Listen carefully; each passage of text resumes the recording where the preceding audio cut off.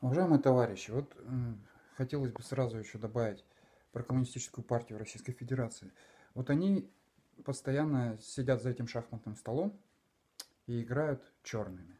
То есть им, они уже отталкиваются от навязанной им игры. От навязанной им игры.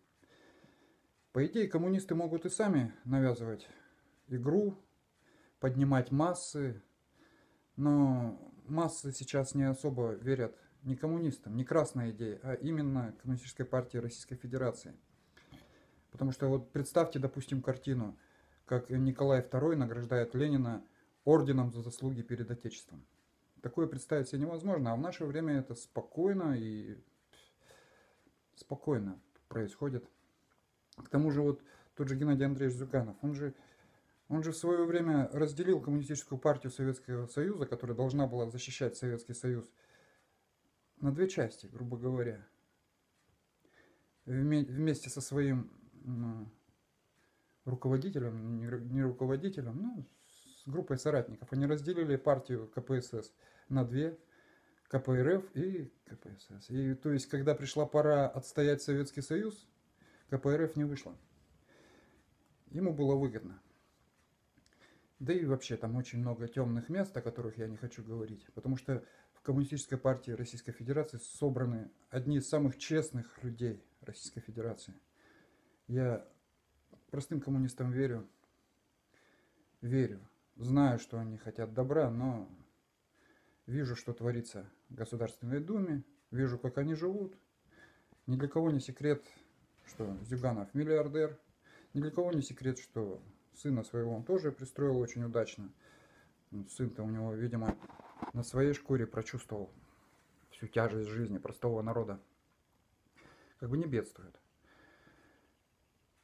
Да и, честно говоря, кто кроме, кто кроме Зюганова, еще раз повторяю, к самой коммунистической идее, к самой идее коммунизма у меня отношение, как у советского человека, только, только положительное. Но я прекрасно помню, как я еще маленький был, но довольно я читаю с 4 лет, поэтому как бы уже и газетки почитывал в то время, как э, разваливалась наша великая страна. И те, кто ходил с улыбками и ждали наступления счастливого будущего, сейчас плачут от того, о том, что им подняли пенсионный возраст, например. Хотели джинсов, мороженого, пирожных, а теперь вот они будут на пенсию в 84 года выходить. Ну ладно, это бог с ним. Они сами виноваты. Коммунисты. Коммунисты в Российской Федерации представлены не одной партией. Я не имею в виду тех спойлеров, которые выставляются на выборы. То действительно проект и как бы как объяснить. Возможно, они тоже за разумное, доброе, вечное, но это чисто проект проект тех, кто хочет править э, массами.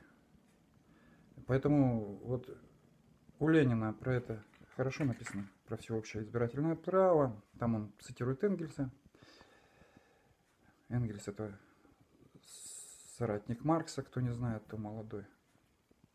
Ленин очень много про это написал. И поэтому, поэтому у Зюганова такое отношение к Ленину, говорят, нехорошее. Потому что, ну, как бы, ну, Сталин, они везде Сталина, заметили? Сталин, Сталин, Сталин. Ленин у них так, у КПРФ. Ну, как бы не котируется. Потому что если почитать Ленина, то становится ясным, зачем вообще нужна КПРФ, буржуазная партия. Я еще раз повторяю, я не про простых коммунистов, которые искренне верят, искренне бьются, искренне борются но есть и те, кто не искренне борются. Тот же депутат Бондаренко просто уже вот, ну, прям уже притча во языцах. Я не знаю, может вы еще не заметили, но я очень давно на ютубе понимаю, что делает этот Бондаренко. Это вот знаете, есть такие люди, они...